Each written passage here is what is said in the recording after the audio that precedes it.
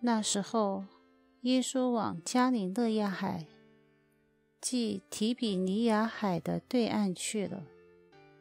大批群众因为看到他在患病者身上所行的神迹，都跟随着他。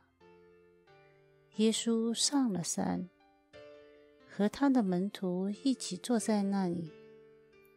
那时，犹太人的庆节，即逾越节，已临近了。耶稣举目看见大批群众。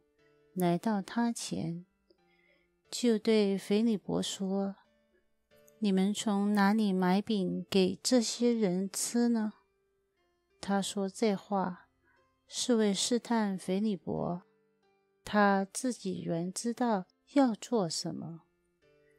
腓利伯回答说：“就是两百块德纳的饼，也不够每人分一小块。”有一个门徒，即西满博多禄的哥哥安德烈说：“这里有一个儿童，他有五个大饼和两条鱼，但是为这么多的人，这算得什么呢？”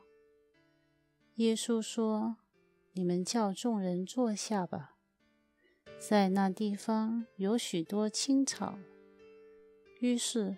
人们便坐下，男人约有五千。耶稣就拿起饼，祝谢后，分给坐下的人。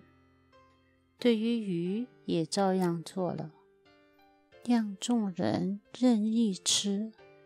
他们吃饱后，耶稣向门徒说：“把剩下的碎块收集起来。”免得糟蹋了，他们就把人吃后所剩的五个大麦饼的碎块收集起来，装满了十二篮。